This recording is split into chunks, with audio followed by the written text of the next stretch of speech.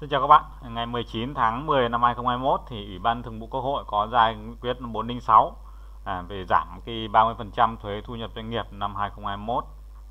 trong một số thuế giá trị gia tăng, thuế thu nhập cá nhân. Thì ở video này thì dịch vụ kế toán Vĩnh Phúc xin chia sẻ với các bạn là cái nghị quyết 406 này. Đây chính là cái nội dung của nghị quyết à, 406 ngày 19 tháng 10 năm 2021 thì nghị quyết này gồm có 3 điều. Điều thứ nhất, đó là một số cái giải pháp về miễn giảm thuế. Điều thứ hai, đó là tổ chức thực hiện. Và điều 3 là điều khoản thi hành. Thế lần nữa thì à, tôi sẽ chia sẻ với các bạn các cái điều. Điều một, đó là giảm 30% thuế thu nhập doanh nghiệp phải nộp năm 2021 đối với trường hợp người nộp thuế theo quy định của luật là thuế thu nhập doanh nghiệp có thu nhập năm 2021 không quá 200 tỷ đồng và doanh thu năm 2021 giảm so với doanh thu năm 2019 tức là năm 2021 mà các đơn vị ờ, do ảnh hưởng của dịch Covid và doanh thu của năm 2021 giảm so với doanh thu của năm 2019 thì nằm trong cái đối tượng được giảm à, 30% thuế thu nhập doanh nghiệp này. Và không áp dụng uh, tiêu chí doanh thu năm 2021 giảm so với doanh thu năm 2019 đối với người nộp thuế mới thành lập hợp nhất sát nhập chia tách trong kỳ tính thuế năm 2020 và năm 2021 hai là miễn ờ, thuế thu nhập cá nhân, thuế giá trị gia tăng và các loại thuế khác phải nộp phát sinh từ hoạt động sản xuất kinh doanh của các ờ, tháng trong quý 3 và quý 4 năm 2021 đối với hộ cá nhân có hoạt động sản xuất kinh doanh tại các địa bàn cấp huyện chịu tác động của dịch Covid trong năm 2021 do Chủ tịch ờ, Ủy ban Nhân dân tỉnh, thành phố trực thuộc Trung ương quyết định. Không áp dụng việc miễn thuế đối với các, các khoản thu nhập doanh thu từ cung cấp sản phẩm và dịch vụ phần mềm sản phẩm và dịch vụ ừ, nội dung thông tin số và giải trí trò chơi điện tử phim số ảnh số nhạc số quảng cáo số. Đây là một số cái đối tượng là được giảm thuế thu nhập cá nhân thuế giá, gia tăng nhưng không áp dụng đối với ừ, các sản phẩm dịch vụ và phần mềm sản phẩm về dịch vụ nội dung ờ, thông tin số. Nội dung thứ ba của điều này nó là giảm thuế gia tăng kể từ mùng 1 tháng 11 năm 2021 đến hết ngày 31 tháng 12 năm 2021 đối với mặt hàng hóa dịch vụ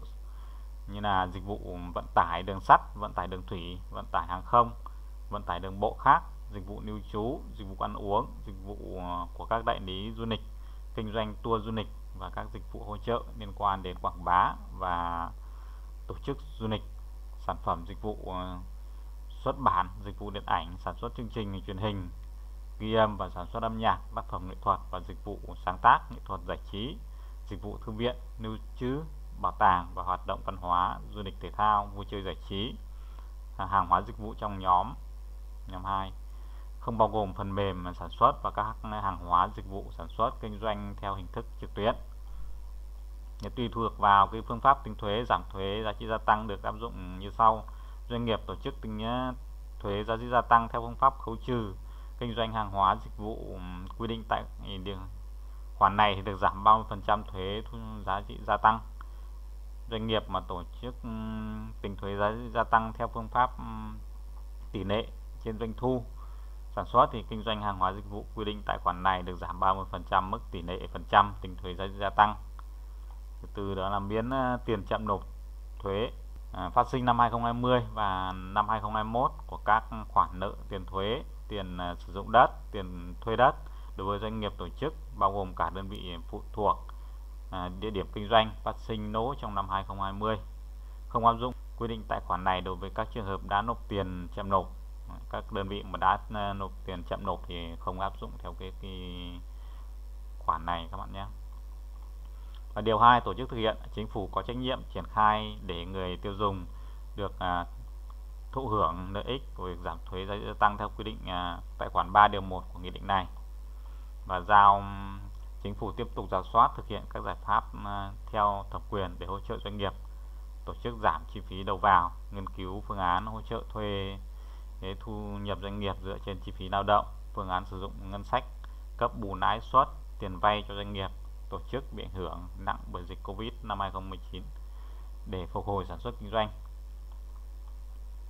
điều khoản thi hành nghị quyết này có hiệu lực thi hành kể từ ngày ký và chính phủ hướng dẫn thi hành nghị quyết này. Ủy ban thường vụ quốc hội ủy ban tài chính ngân sách à, hội đồng dân tộc và ủy ban khác của quốc hội